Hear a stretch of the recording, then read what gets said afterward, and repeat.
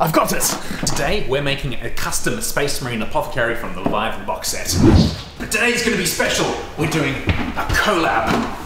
We're collabing with Insert Art upstairs. I'm here. Dave, you explain. It's tabletop time?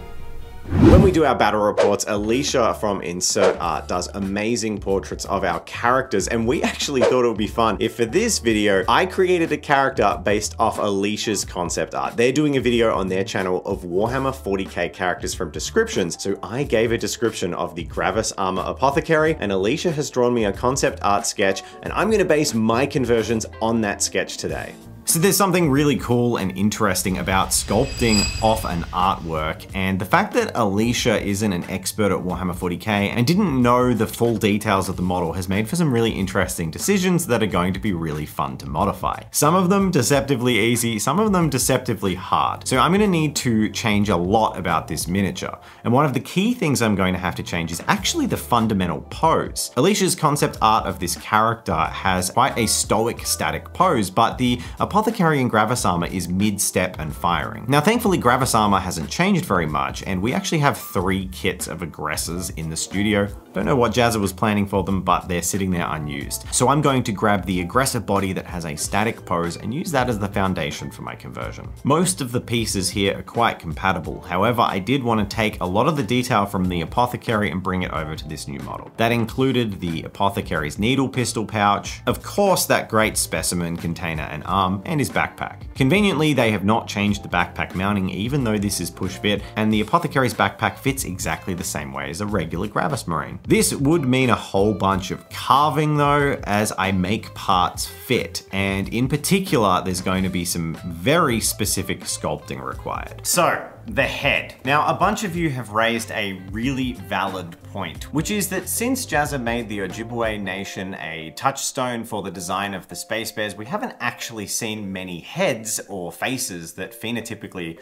resemble Native Americans. And especially in our last video where we used Space Bear bits heads, there definitely wasn't much representation there. And I wanted to address this by basically saying the problem has been that the parts don't exist. The native peoples of America are incredibly diverse, with nations spread from one side of the continent to the other, and each one has their own unique culture. So there isn't really a perfect one head or one face fits all look. And previously, the only pack I was aware of of 3D printable bits that represented Native Americans did not feel like a good fit for the Ojibwe. Someone in our Discord pointed out these products warheads, which have a more diverse spread of Native Americans. So thankfully, I found some heads I felt would work really well for this model. I've actually printed one off today, which is great. If you've been painting minis for as long as I have, you'll know that representation is pretty limited. Now, in saying this, I did want to remind people that the Space Bears in lore are a mix of Terrans, Space Wolves, as they do use Space Wolves gene seed, and recruits from this new homeworld that has the Ojibwe Nation culture as its touchstone, and it's 40k thrown in the mix. This isn't supposed to be a proper representation of people today. It's fantasy. But even so, I think it's really important that more people are creating more interesting heads, and it's nice that Games Workshop is finally doing that with armies like Cities of Sigmar and Age of Sigmar, and hopefully we see more of this in the future. Because we have these warheads that have a bunch more head options, we'll be able to better represent the vision of the faction that Jazza has going forward, which is super exciting. So, um,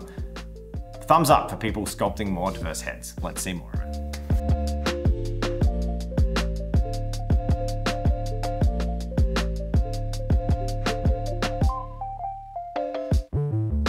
So Alysha had done some really fun drawing designs of these implements on the backpack, and the original Apothecary has a searchlight and also one nice little servo claw. So I wanted to make things more reminiscent of Alysha's artwork. I found a nice surgical light that looked similar to the one Alysha had drawn, also reminded me of the lamp from Pixar, and I cut that off. That was actually from an old 40k objective kit, and I'd already used a bunch of parts from that, so it was useless as it stood. So it was really good to be able to salvage another bit. With the lamp aside, side, I also chopped off and reposed the existing servo arm to give it a bit more of a dynamic look with the new silhouette. And then I hand made a injector using Plasticard to make a dirty looking syringe. I have got my conversion behind me and I'm really happy with how it's come about, but now I need to do the actual sculpting. I've hacked everything into place with plastic. There's a few places, especially in the arm around the joints of the elbow that I need to go in with some grilly put. That's a mix of green stuff and Milliput that I like to use to sculpt out the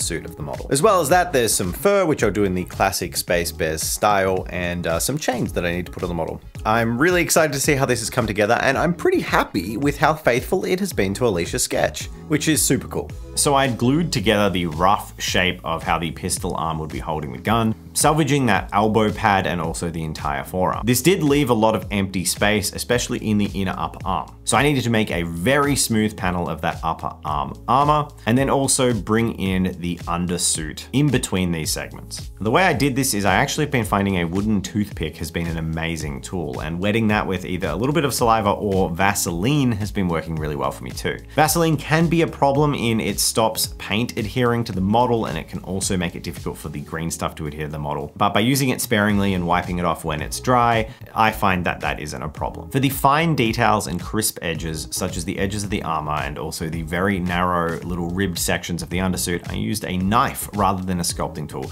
to get a really precise point. I also had allowed this green stuff in Milliput to wait for a little bit of time so it wasn't tacky or sticky, which meant it didn't get stuck on my sculpting tools, which was a big help. And once this was sculpted, the tip of using some isopropyl alcohol and wiping it down really helps get a nice smooth finish. I am almost done and I'm so proud. I am not someone who traditionally thinks of myself as a good physical sculptor. It's something I've been learning and hard inorganic shapes are very hard to sculpt smoothly, but I'm really happy with how this uh, apothecary's arm has turned out. I basically had to resculpt a whole bunch of his Space Marine power armor. So this is super cool. And now I've got the easy stuff, which is some Space Bears pelts and uh, gluing on some chains and stuff. So let's get to it. With the hard areas done, I could move on to some of the soft sculpting, and that meant using one of our Space Bears bits, the chain, to replicate the look Alysha had done of the chain crossing the torso. But before I could place that on, I needed to sculpt some little fur patches and run some chain around the waist. So I did what I had been doing with the Space Bears, creating some green stuff in Milliput, and then using some scissors to pick out nice little fur sections, create a really good texture. Once I'd made these areas, I could then stick on that bit of Space Bears chain, just using some hot water to heat bend it and ensure I got the shape I liked.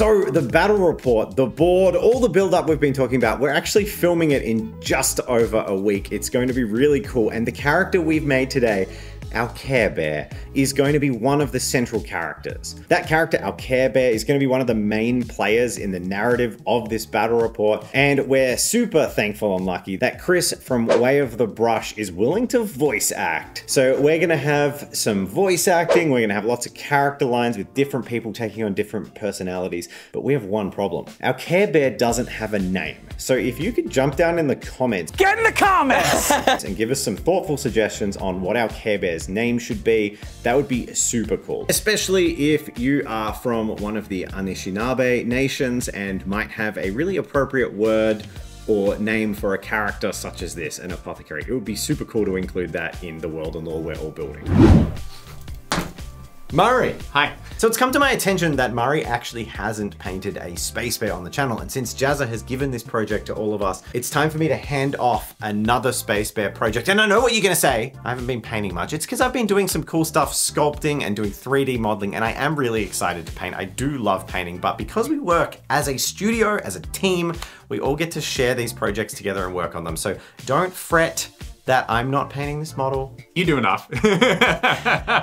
I, I, get to paint a space bear. Which is really exciting. Murray, I can't wait to see what you come up with. Uh, but I did want to say that caveat because we've had some comments like David doesn't paint. I do like painting. I just also like sculpting. So yeah, I'm going to go sculpt a Traitor Guard. No, a towel. Let's paint an apothecary. The first stage of painting our apothecary is of course to paint it completely white, and that's the priming we'll go with, mainly with a couple of zenithals starting with grey and just going all the way up to white. This will immediately give us some shading and allow us a really nice base to start with. Then it's simply a process of blocking in all our colours, starting with the fur, the metals, all the blacks, and the golds. Then when I'm happy with the balance and arrangement of the colours all over the model, it's time to start doing rough highlights. I'm not going to go too overboard with this because of course we're going to streak and grime this model, as is the traditional Space Bears way. So a rough overbrush on the brown furs and establishing the white highlights to pure white will more than suffice for this part of the process. Now before we streak and grime, I want to do all the little details, the markings and namely a chapter symbol and all of the little markings that we might have on him otherwise, because of course they will get covered in grime and filth as he goes about his business in the 41st millennium. I'm going to replicate one of the patterns we've done before, the triangles on his knee pad, and then do the Space Bears logo on that same knee pad. This splash of red will create a nice amount of movement for the eye as it moves around the shoulder pads, gun, and now to the knee pad. For the last step, I decided that his medical apron was looking just a little bit plain. All the metals and areas that will be black were given a nice hearty coat of black contrast.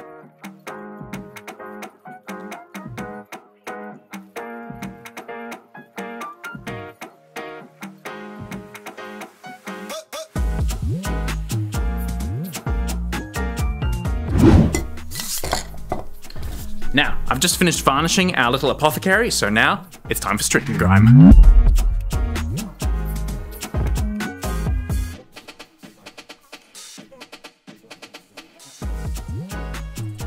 He's nice and dirty.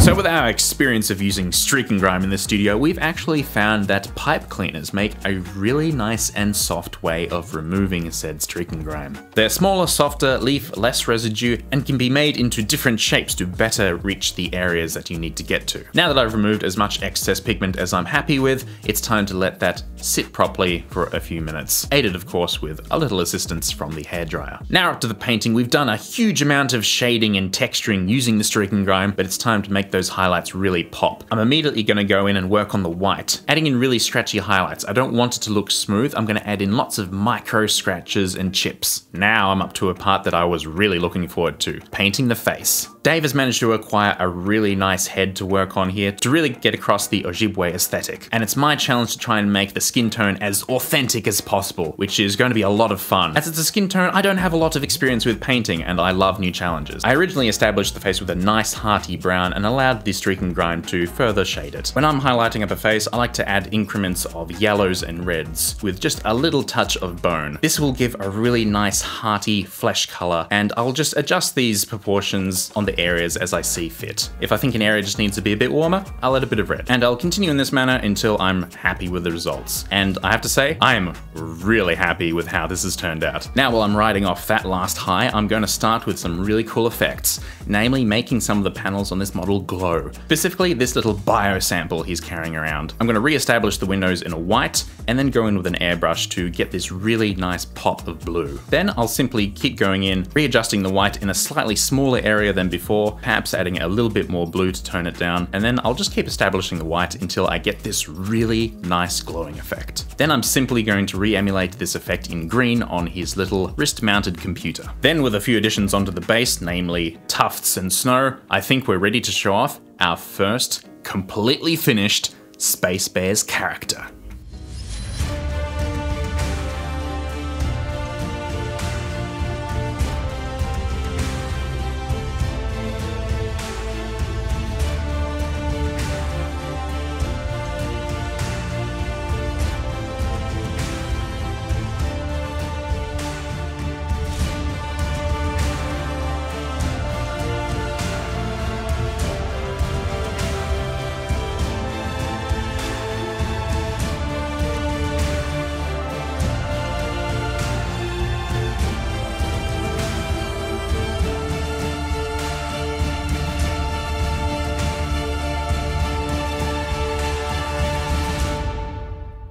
Here is the Care Bear.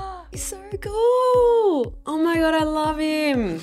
oh my god, the fur looks incredible. And one of the really cool things about it is because you aren't as into the Warhammer hobby as we are, you sort of came up with ideas that were a bit outside the box, but it looks awesome. It looks so cool. You've done it so well. This simple repose was the hardest part of the whole project, just getting him to do this. Sorry about that. I thought it'd be easy to like surely you just like. Alysha is now going to be taking my artwork that I made, this sculpture, and then turning that into a proper portrait we're going to use for our battle report. But this isn't where it ends because Alysha and Ariel over on Insert Art are actually doing a Warhammer 40k characters from descriptions video. Yes, myself, an absolute Warhammer novice, I am redrawing the Emperor. And you have to check out the video to see the cool creation Ariel drew. But I can tell you, they both look awesome and very fun. Thank you for working with me on this. It's the first time we've ever done a collab Insert Art and Tabletop Time. Oh my God. Like officially. I love it. This is so exciting. Thank you so much for having me. Today's video has been super fun and I really hope you've enjoyed it. Thanks for watching and thank you as well to our patrons for all your support. And if you'd like to check out Insert Art's awesome 40k characters from description, the links are in the description. So go check that out and send them some love. Thanks for watching everyone. Uh, see ya.